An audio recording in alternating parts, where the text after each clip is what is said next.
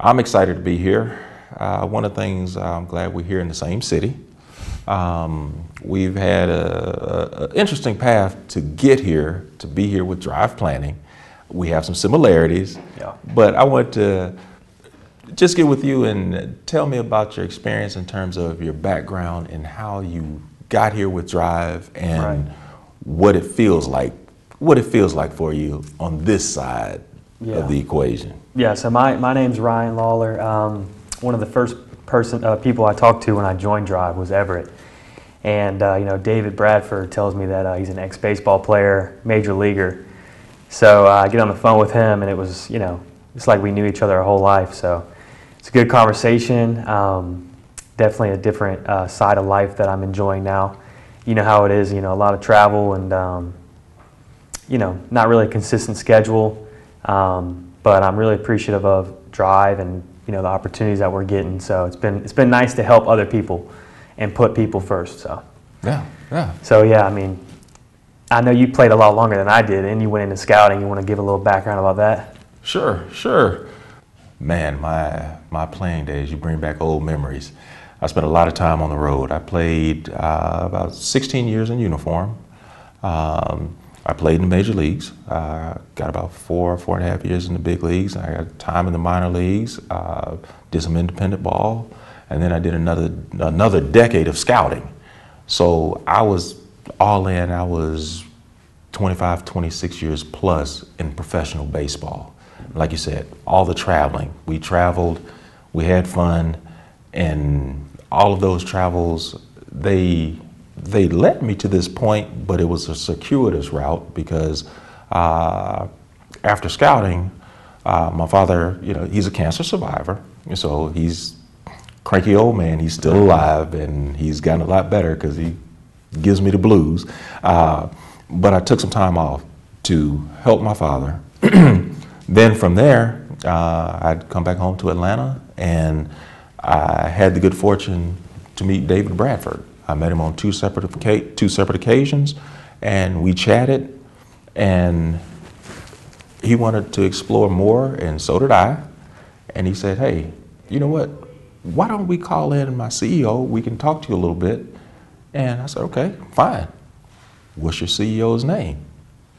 He told me, Todd Burkhalter. Just to show how small of a world this is, Todd Burkhalter and myself played high school baseball together. And that was over 30 years ago. Now, we're, now we are reunited at his company. That's great. so it came full circle. So Yeah. it felt like uh, that match made in heaven, and that you know how they say everything comes full circle. I'm back home, reunited with an ex teammate, and shoot, we've even gotten our old coach involved. Yeah, wow. you know, it's crazy you say that, you know, whether it's a high school teammate, a college teammate, you know, you still have that bond. Um, you know, I didn't mention, but I played nine years myself with the Braves and the Cubs organizations. Um, so nine years to me feels like a like pretty much my, you know, last bit of my 20s, and before that was since I was a kid. So Yeah. you get it, you know, it's all that you know. But um, like you said, teammates from before always kind of stick around, and you got that bond. Um, so that's I think when we met, it was already kind of established that we had that same mindset, that same kind of language that we understood. So we kind of built off each other when we started into Definitely. the financial planning route. Um, it's been super cool to, to learn from you. And then, you know, like you said, full circle with Todd. We're all learning from him. He's doing a great job. So it's been, it's been awesome. Man, and I'll tell you one of the uh, one of the most interesting parts is we're both pitchers. Yep. We were both pitchers, and uh, uh, David he he he makes reference uh, quite often. He's like, "Well, hey, if you're ex baseball player, but only if you're a pitcher, Yep. you can come be on my team." so we got pitchers, uh, ex baseball players, but I think it, it, it helps us out with um, with our mindset and uh, things of that nature in terms of uh, not only discipline but having the the, the initiative to to have that self-driven uh, Right. uh, type atmosphere. Uh, tell me a little bit about what it is now on this side that you that you think about that you may have wished you'd known, you know, in, in your prior life, so to speak? Right. So one of the first things you said was, you know, how we're self self driven. I guess. Um, I think a thing that all pitchers do is they're always trying to improve and learn a new pitch, learn a new thing, you know, adjust their mechanics. So in financial planning, there's a lot of that, right? Because we're always kind of learning new um, things that we can implement, Yeah. things that are going on in the, you know, the economy. Um, been very fortunate to have some of those opportunities with Drive to share. Um, but from this side, looking back, um, you know, I came from a mentality of, know, get, you- get your bonus, whatever, and save it. Um, live off that. You know, try to take care of your family. And, um, you know, if I would have known some of the things I know now, things would be a little different. But I'm very thankful that I'm able to learn now and help other people see that, um, you know, side of things that I'm seeing now. Yeah. Especially friends, family, clients, anybody really. You know, you make connections anywhere you go. So it's been awesome. Yeah, yeah, yeah. I feel the same way. Uh, and you hit the nail right on the head. If I knew then what I knew now, it would have been a whole different ballgame, at least in my head. Yeah. no, but it, Yeah. it, it, it really would have been uh, because um, thinking back on it, like I didn't have anything in my career where there were any risky moves or things like that. It was all just real life. Yeah. Uh, once the contract stopped, those type of checks stopped, and you live, thrive. You find other means to earn a living, but having a way to structure it where, if I had really known how how important it is to make your money work as hard as you do or I do, it would have put me in a in a position where even faster than now, where I am now, even quicker than now, I would have had the opportunity to be in a position to help the, the family members I'll never meet, you know, Right. the progeny, my, my, uh, my children's children's Right. children, and so 100%. forth and so on. Uh, but you know, one of the great things here at Drive, we meet everyone where they're at. And with that, um, talk to us a little bit about some of the, said like some of the, uh, some of the things where traditionally, where are most people taught to Right. house their money or make their money work? Yeah, it's a great point. Um, when you think about it traditionally and how I used to do it, even, um, you know, how my I was growing up, kind of uh, understanding things was, you know, you plan for your retirement at a young age. You put things into uh, stock market. You put things into a mutual fund, and you you know you take your small wins here and there. You take your losses, and um, you kind of just never really know what's going on, but you're looking for the future to be able to retire in a good, you know, good fortune and whatnot. And um, I think that's one of the areas that when I first joined was very uh, entertaining or attractive was being able to see that you can put funds for the now and enjoy your life and, and have a lifestyle that you want to live. You know, I was playing ball, I was traveling, um, loved every minute of it. I'm sure you did too. It teaches you life Oh, without a lessons. without a doubt. Um, but you know, you when you get done and, and you know those things come around where you want to be able to live a lifestyle that you can enjoy and not have to slave away and you know put your income into funds that you might not be able to see and then you know pay the pay the tax man at the end of the year also with, with your hard-earned income. There's many ways that we have learned that can change people's lives in the meantime and have an impact on their life moving forward. Yeah, yeah, I'm, I'm with you because, uh, like here, our motto, the Drive Planning motto, is keep more, make more, live, Live more. more, yeah. Exactly what you're talking about. Um, being able to have, say, tax strategies to help you keep more. Um, find out where you may be losing money unknowingly or unwittingly Yep. uh, or reallocating funds, you know, things like that. Uh, being able to make more investment opportunities or uh, opportunities that are backed by real estate that don't have the volatility or the speculation of, say, the stock market. It's not that stocks are bad. We're just trying to, you know, especially for myself and a lot of people that I know, they want something that is not not as volatile or not as speculative. They can overnight Right. overturn the boat, you know. But one of the things that I really found interesting with what you just said is being able to enjoy it now. Right. Because I know my parents, uh, uh, family members, or older members in the community, when I was a kid, all you heard was, I'm gonna save, I'm gonna save, or I'm gonna use this type of structure so that when I retire, then I will enjoy myself. Yeah. Well, the problem with that is, I don't want to be where I'm decrepit, uh, can't walk, can't Yeah. enjoy it. I want to be able to enjoy the spoils Right. now and still be able to leave something behind as a legacy. So keep more, make more, live more. Sounds great to me. And with that being said, you know, we still encourage people to um, be smart with their with their financials. We're trying to encourage people to keep a you know a certain percentage of their income saved every year.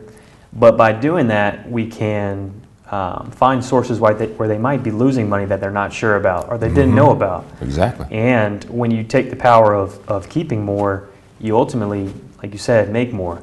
If you want to kind of speak on some of those things that we have going on right now, I think this would be a good point um, to make is, is some of our private opportunities that we've got going on.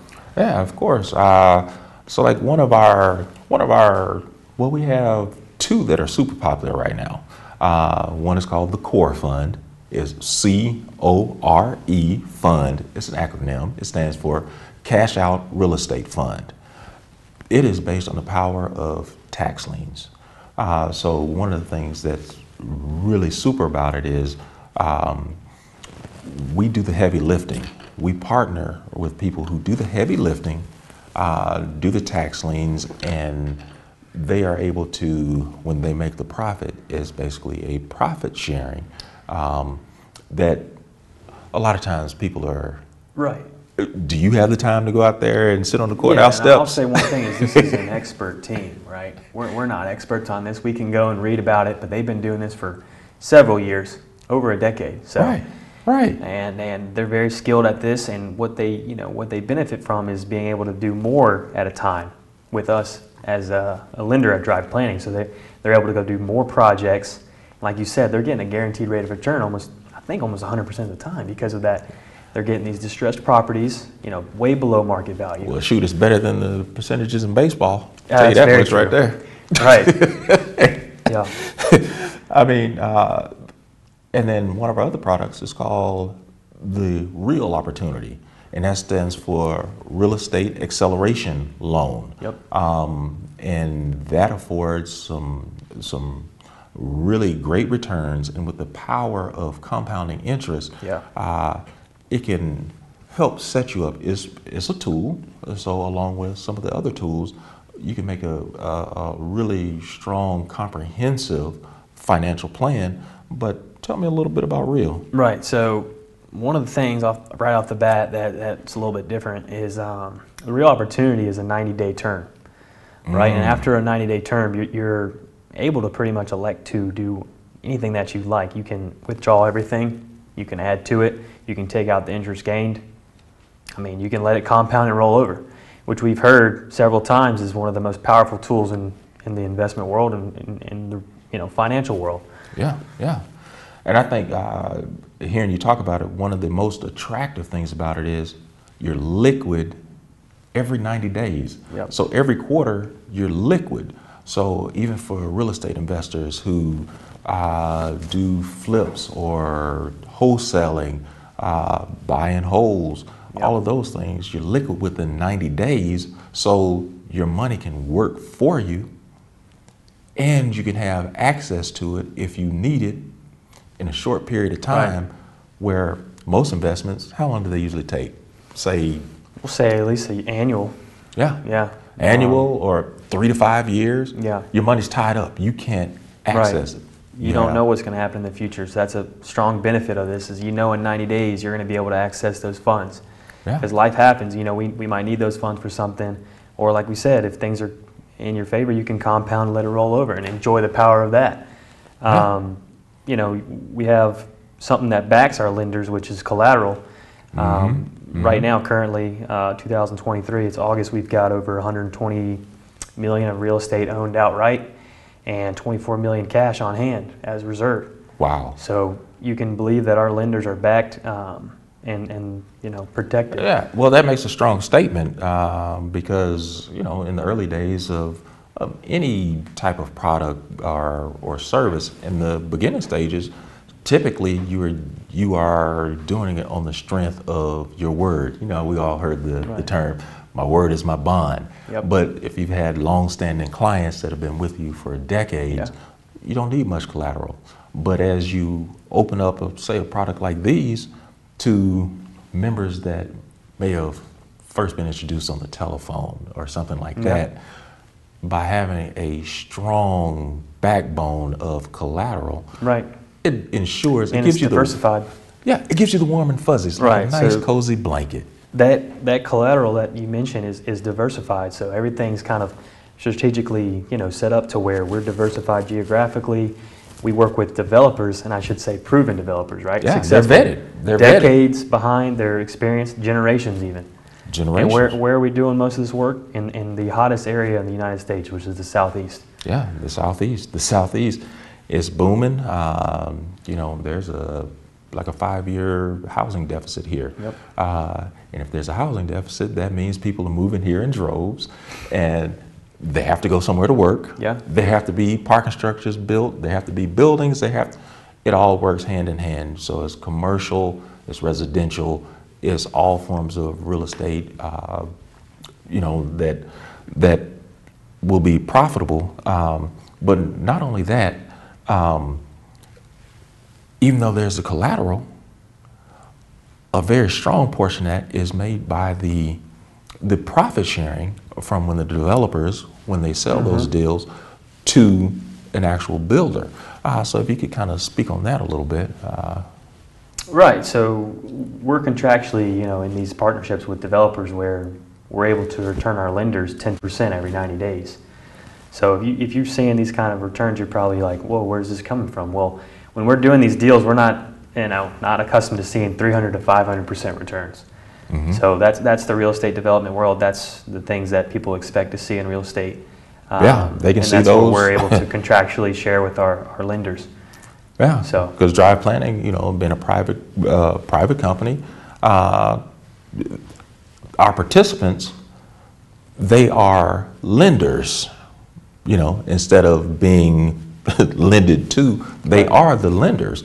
And with the profit sharing, we then basically, eh, so to speak, reward them with a 10% return 100%. every 90 days. Yeah, And you're involved in the profits. You're uh, participating in the profits. Yeah, which is which is a beautiful, beautiful thing. And, and your hands aren't getting dirty. So, you know, a lot of people do want to do their own investments, and we, we don't discourage that at all. That's a great way to get um, grow wealth.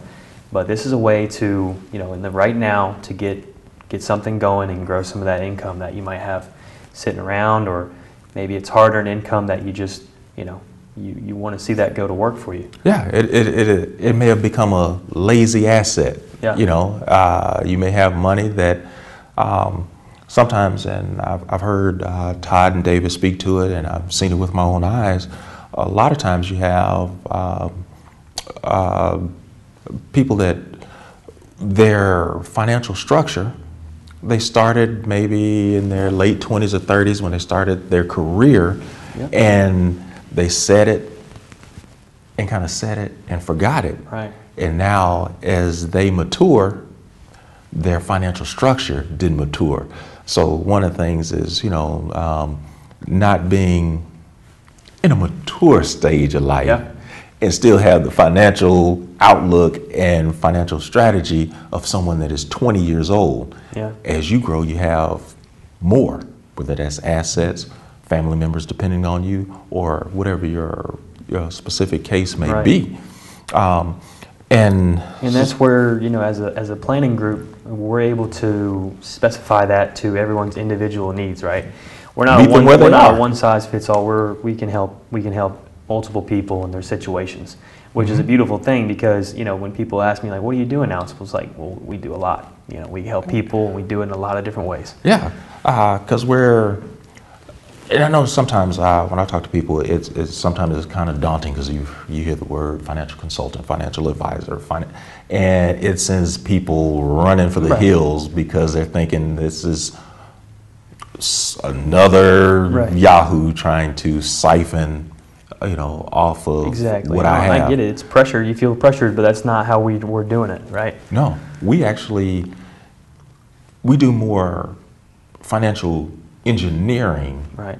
and strategies than what you would find with, say, the traditional route that most people most people Right. It's going to benefit take. you in the now and definitely in the future. Yeah, More so than, like you said, like you mentioned, with other, you know, opportunities or groups. So, Yeah. I mean, we're, we're not downplaying that at all. We're just saying that that's what we have the ability to do right now, and we're, we're happy to help. So, like you We're said, we're, we're in a hurry to help people. we're in a hurry to help people because when you look at it uh, traditionally, uh, I know I've seen it countless times with my buddies, people around me.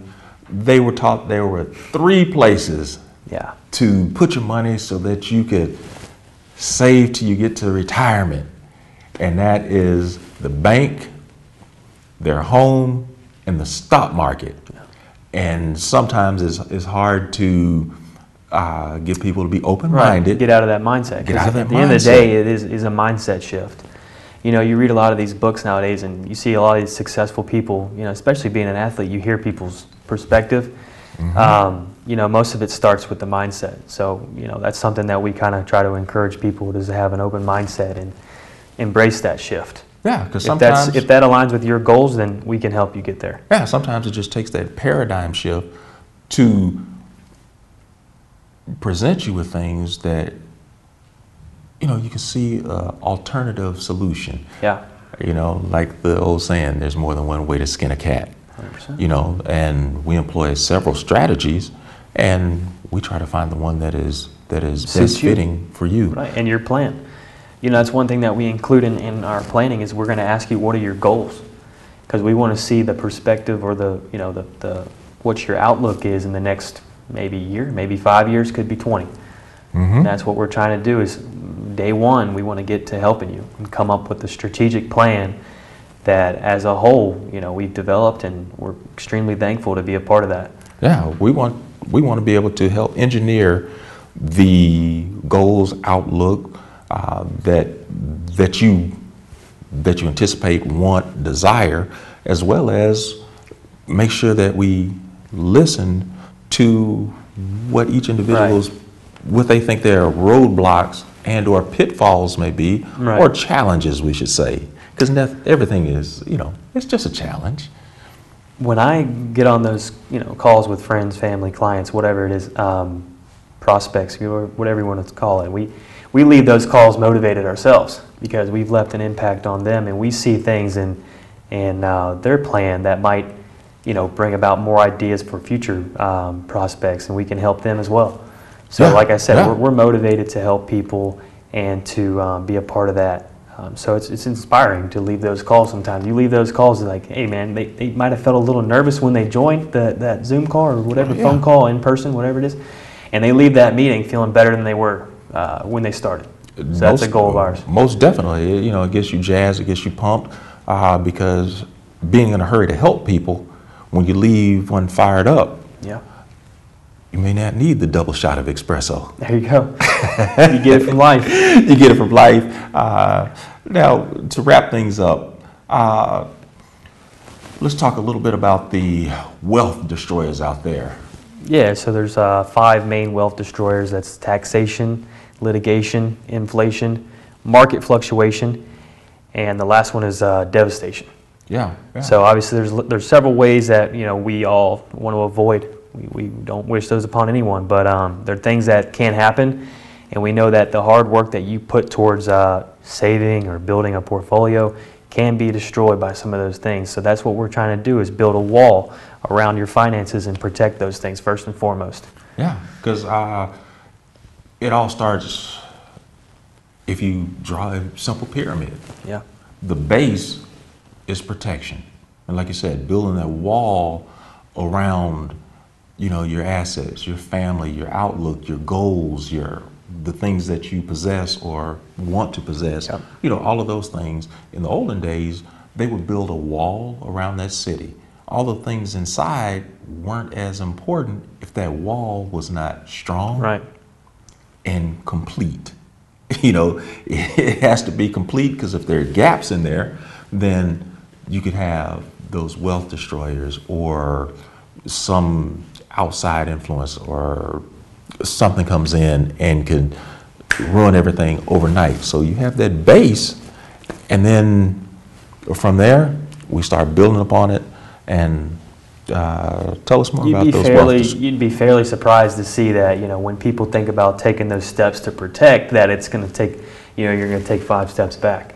Well, if you look at it in, in reality, you're going to actually accelerate a lot faster than you would have while protecting your assets and your, your liabilities, your family, right? You're going to get several benefits from doing that. So it's not something that we feel like we have to pressure people because with our opportunities to grow wealth, you know, with, with the way of protecting them, it's all going to work out and accelerate that growth. Yeah, you know, and just to kind of summarize it, this is the way I, I think of it is by taking action, Right. you can protect yourself from all of those other shuns that you brought up that end with T I O N Yep. that can put you in a bad place. 100%, man. We try to help engineer things so you can take action and, um, you know, live well, prosper, right. And like I more, said, at the end of the day, make more, live live, more. more. right? at the end of the day, Everett and I, I can speak for him. We're, we're, we call each other, man, we're in a hurry to help. We want to help people. We've played baseball for a long time and sacrificed a lot for ourselves. We've had to be selfish in that career, right? You got to put a lot into your body, your, your career, your, to prosper. And um, like you said, it's fulfilling to help people to see that side of things and um, to have that fulfillment from seeing other people reach their goals. Yeah, yeah, because uh, being being in a position to to help people uh, see and realize some of the things that I didn't even know were out there 30 years ago when I came out of college. I'm dating myself, don't. but being able to talk to a young man, talk to a Right. young woman, talk to someone who is in the middle, talk to someone who is in that mature stage. Yep. Everything in between, we can talk to them, meet them where they're at, and give them some insight as well as help them to see it's never too late. Yeah, take some of the weight off their shoulders. Yeah, you just got to get started. And when you Yep. speak of weight, I've been working out, and it's time trying to get the weight off. no, but hey, it's been a pleasure, Yeah, Ryan. man, that was great. It's been awesome, and we'll talk to everyone Yep. out there soon.